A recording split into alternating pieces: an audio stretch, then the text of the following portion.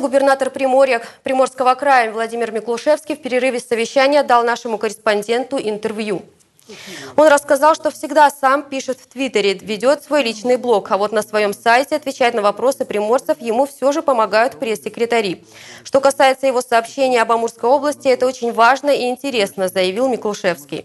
В принципе, сельское хозяйство, конечно, в хорошем состоянии в Амурской области, здесь есть чему учиться, поэтому я и хотел поделиться другими, другими, с другими пользователями Твиттера своими впечатлениями. Ну вот что больше всего поразило?